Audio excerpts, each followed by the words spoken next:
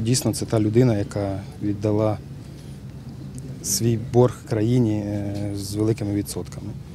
Тобто це, це правильно, це про нього. Бліндажне життя, так би мовити, його не озлоблювало, а він завжди був з гарним почуттям гумору, завжди на позитиві, ну, дбав про своїх хлопців, тобто намагався підтримати завжди бойовий дух, е, ну, завжди був позитивним прикладом патріоту.